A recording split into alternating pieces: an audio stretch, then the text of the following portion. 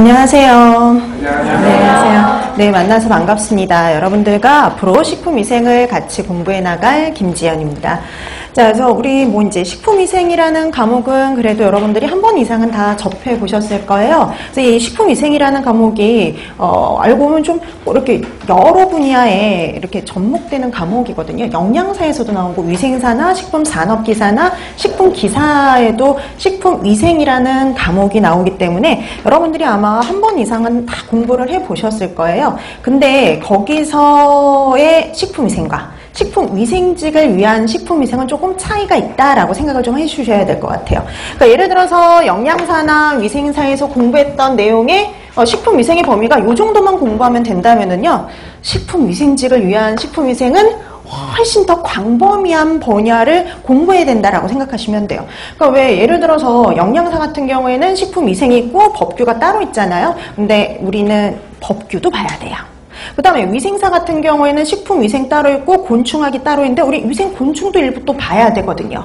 그러니까 이렇게 보다 보니까 어, 우리가 훨씬 공부해야 될 범위가 훨씬 넓다라고 보시면 돼요. 그 다음에 이제 뭐 이런 범위나 이런 쪽으로는 식품기사, 산업기사하고 좀 더 비슷한 점들이 더 많은데 방향성은 완전히 좀 달라요. 그래서 식품위생직을 위한 식품위생을 따로 공부할 필요가 있는 겁니다. 그러니까 영양사나 위생자 정도의 공부를 가지고는 어, 이 식품위생직을 준비할 수가 없고요. 그 다음에 식품기사나 산업기사는 방향성이 좀 다르기 때문에 어, 전문적으로 식품위생직만을 위한 공부를 여러분들이 따로 하실 필요가 있다라고 생각을 하시면 돼요.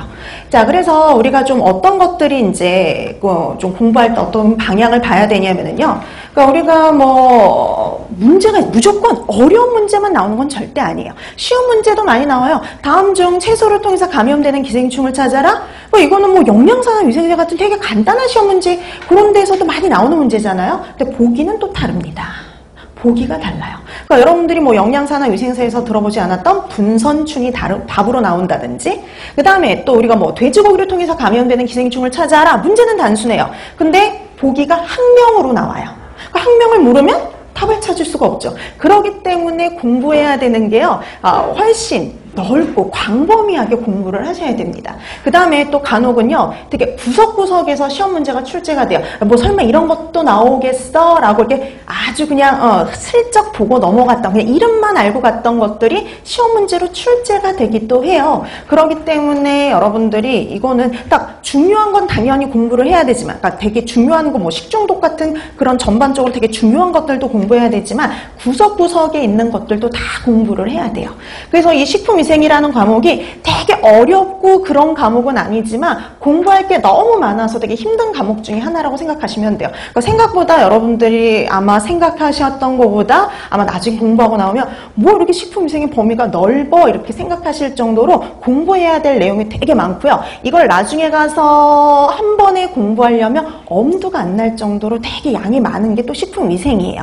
그래서 여러분들이 항상 진도를 나갈 때마다 조금씩 복습해 두셔야 되고요.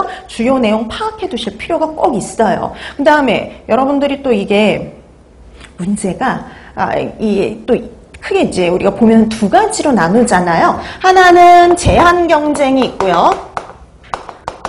이거는 뭐 도별로 이제 시험을 봐요. 그래서 도별로 이렇게 제한 경쟁 시험이 있고요. 그러다 보니까 도별로 뭐가 틀리냐면 아, 저기 시험 보는 과목이 틀려요. 근데 어떻게 됐든 식품 위생은 반드시 들어가 있습니다. 그 다음에 또 하나 어, 이제 우리 그 교육청에서 보는 공개 경쟁 시험이 있죠. 뭐 이 공개 경쟁이라고 해도 이제 뭐 다 이제 그 과목 수만 좀 늘어나고 뭐 국어, 국사, 영어 시험을 본다는 거는 똑같지만 어떻게 됐든 식품 위생이라는 과목은 공개가 되지를 않아요. 제한 경쟁에서도 공개 경쟁에서도 이렇게, 이렇게 공개가 되지를 않기 때문에요. 어, 실제 여러분들이 시험을 보고 어, 이전에 어떤 시험 문제가 나왔지라는 거는요.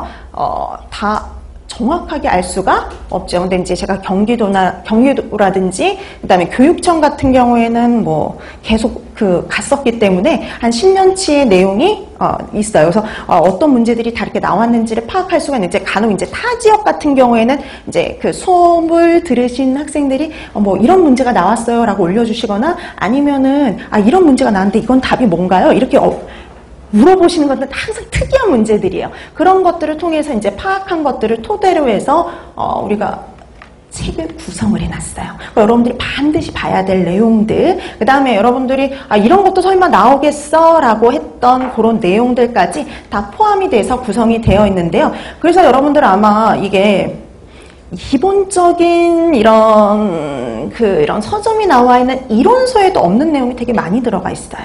왜냐하면은 그런 이론서에 있는 내용만 시험 문제 출제가 되지 않거든요. 그래서 일반 가장 우선 기본적인 건 이제 그 일반적인 내용들도 출제가 되지만 거기에다가 간혹 시사적인 것들도 나오고요. 그 다음에 또 이런 이렇게 자료를 찾아봐야 되는 그런 데에서도 또 문제가 출제가 되기도 해요. 그렇기 때문에 그런 것들 일일이 찾아보거나 그럴 수가 없기 때문에 그런 내용까지 다 포함을 했다라고 보시면 돼요. 네, 여러분 시사적인 것도 간혹 나온다. 간혹 나오는 거예요. 매번 나오는 거 절대 아니에요. 그다음에 여기서 시사적인 게 나온다고 해서 너무 그거에 아 이번에 이런 뉴스가 나오는데 이런 게 나올까요? 계속 아니요. 보통 이런 시사적인 문제는 어떤 거냐면요. 뭐 전 세계적으로 문제가 됐다든지 우리나라에서 크게 문제가 돼서 누가 사망을 했다든지 이렇게 좀 큰 사건, 사고 이런 것들이 나오는 거지 되게 아주 이렇게 아주 작은 일들까지 나오거나 하지는 않아요. 그러니까 예를 들어서 그런 거죠.